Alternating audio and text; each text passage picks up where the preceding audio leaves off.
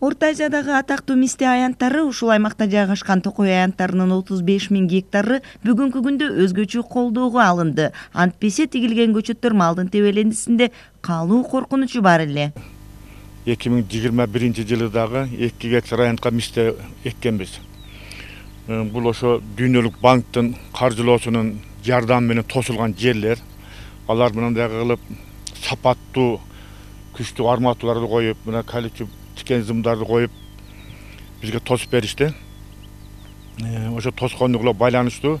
Бул жердин көчөтү аябай жакшы мына көчөттөр көрүнүп турат уже. Ошон үчүн азыркы убакта ушу тосмолобосо көчөттүн өсүшү кыйын болуп калды да мал көбөйүп кетти. Быйылкы жылда тосмо аракети колго алынды. Анын үстүнө ишкерлер мистенин аянтын коргоого кызыктар. Алар тосууга да жардамын берип жатышат. Анткени түшүмдүн мол болушу баарына пайда. Бул кочкор ата токой чарбасы алтымыш бир миң эки жүз отуз сегиз бүтүн ондон бир гектар жерди ээлеп турат.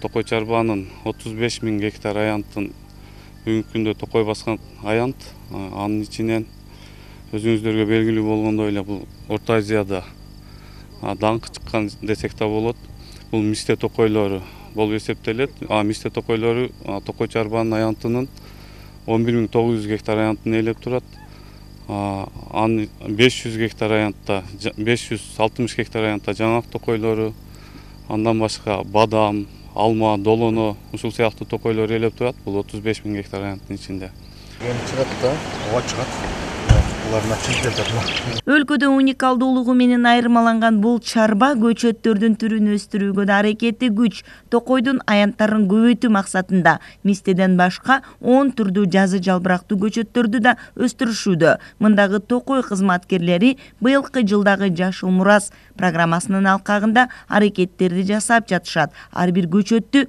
жаш баладай бап эстеп багуу токойчулардын негизги иш аракети.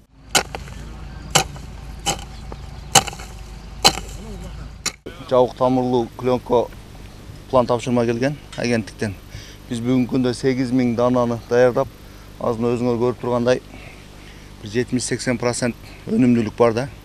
Бунун өзгөчөлүгү биз ушу токойлорго алып барып туруп көчөтүнөн отургузабыз муну отургузганда ошо күлөктү алып барып туруп эле күлөктү кесип ошол бойдон ошо топурагы менен отургузулат да ошол жерде кийин өнүмдүүлүк жакшы болот ошо приживаемость деп коет бизде ошо өнүмдүүлүк жакшы болот. Жашылдандыруу иштери жакшы жүрүп жатат бирок малдын көбөйүшү токойдун кеңейишине терс таасирин тийгизүүдө. Акыркы эки жылда ноокенде мал жандыктарынын саны өстү. Андыктан токойду сактап калууда калктын жапатырмак жардамы керек. Кыял сабирахунова алмамбет кулушев лтр жалал абад облусунан